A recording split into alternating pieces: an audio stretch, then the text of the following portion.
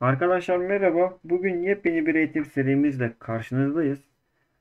Bugün e, 3D yazıcımızda basmak üzere bir tasarım yapacağız ve bu ilk defa Tinkercad Autodesk'in bir uygulaması olan herkesin ücretsiz bir şekilde ulaşabileceği bir uygulama ve belki daha önce görmüşsünüzdür, görmemişsinizdir bilmiyorum ama çift taraflı isimlik tasarımımızı burada yapacağız ve ardından 3D yazıcımızda blok haline getireceğiz ama blok hali olarak videomuz Part 2 olarak ilerleyen zamanlarda gelecek. Bu Tinkercad'in ana e, sayfası. Buradan direkt fazla kafanızı karıştırmadan ilk tasarımımızı oluşturun diyor, diyoruz. Ve Tinkercad bizi çizim sayfasına yönlendiriyor. Burada çizim daha çok Solid gibi, diğer NX gibi programlar e, gibi değil de daha çok şekillerle tasarım yapma gibi. Hemen fare hareketlerinden tarif edeyim size. Orta tekerlek yakınlaştırıp uzaklaştırmayı, basılı tuttuğum zaman sayfayı taşımayı sağlar. Sağ tekerlekte görünümü değiştirmeyi sağlar. Ve tıklarsanız otomatik olarak bakarsınız. Buradan üst, yan, ön yani gibi görünüşler var. Fazla kafanızı karıştırmak istemiyorum. Çünkü e, tasarım yaptıkça sizlere komutları göstere göstere ne, ne, ne nasıl kullanılır gibi tarzda komutları kullanı kullanı göreceksiniz zaten. Şimdi yapmam gereken iki isim olacak. İki tane isim yazacağım. Biri Mert, biri Mete. Mete burada temel şekiller adı altında text sembolüm var. Buraya girdim. Buradan ben şuraya bir tanesine Mert yazmak istiyorum. Ama aklınızda olsun 3D yazıcıda baskı alacaksınız. Bir, harfler arasında birer tane boşluk bırakmanız sizin karınızda olacaktır. Şimdi bunu yaptık. Buradan yazı tipini vesaire her şeyi ayarlayabilirsiniz. Buradan serif yapalım. Şimdi ben bunu döndürmek istiyorum. Bakın gördüğünüz üzere şurada benim döndürme ibarelerim var. 90 derece döndürdüm. Ayrıca bir de diğer tarafı doğru 90 derece döndürmek istiyorum ben bunu.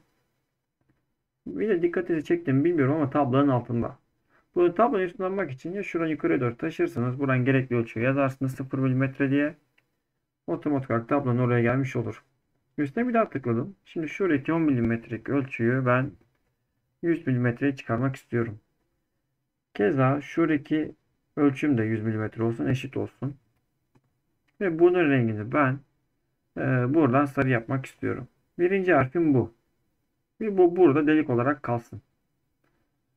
Üstüne bir kere tıkladım delik olarak kalsın. Şimdi ardından tekste geldim tekrardan. İkinci harfimi yani ikinci kelimemi yazacağım. Bu da Mete olacak. Dediğim gibi yine birer tane boşluk bırakıyoruz. Buradan serifi seçtik. Aynı şekilde bunu da buradan 90 derece buradan döndürmeye gerek yok. Çünkü çift taraflı olacak. İlerleyen zaman hani e, videonun sonuna doğru neden bunu çevirmediğimi anlayacaksınız. Tekrardan bunu yukarı doğru 2 mm'ye kısmı 0 yapalım. Tablo eşit olsun. Bunu da delik yapalım. Ve ardından buradaki mesafeyi tekrardan 100 mm buradaki mesafeyi 100 mm yapalım. Ve şuradaki ölçüm benim yani yüksekliğim 20 mm olacak. Bu böyle alalım. Mert'e bakalım. Mert kelimesine. Bunun yüksekliği ne kadar? Bunu 20 mm yapalım. Tamam. İlk aşamamız şimdi bitti. Tekrardan ben bir tane küp alıyorum. Hatta bunu delikten çıkartalım. Katı olarak göstereyim. Karışmasın çünkü. Bunun rengini tekrardan değiştireyim ben. Turuncu yapalım. Şimdi küpümü tekrardan aldım. Tabloyu bıraktım. Buradaki ölçüleri yaptığım yazdığım harfe göre tekrardan ayar çekiyorum onlara. Yükseklik 20 mm. Tamam. Şimdi farenin sol tıkıyla bu mert ve kırmızı küpü seçiyorum. Ardından buradan hizala bölümüm var. Hizala. Yani hatta kısa kolu L harfi diye de gösteriyor zaten. Hizala dediğim an Orta noktalardan ben bunları birbirlerine hizalıyorum. Bir daha seçiyorum ve diyorum ki bunları gruplandır.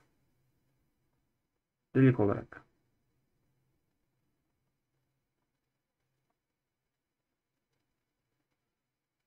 Şimdi aynı şekilde aynı işlemi bunu yapacağım. Yine bir daha küp getiriyorum. Küpün ölçülerini yazıyorum. 100 milimetre 100 mm yüksekliğim de 20 mm olacak şekilde. Tekrardan bunları hizalama yapıyorum. Seçiyorum birbirine orta noktalardan birbirlerine hizalıyorum. İkisini birden seçtim yanlışlıkla. Şu an hizaladım. Eksik bir kısım kaldı mı? Otomatik olarak zaten sanırım bu hizaladı. Tekrardan bunları da gruplandır diyorum. Ve delik yap. Yani şunu aslında en başta delik seçmeliydim sanırım şuradaki.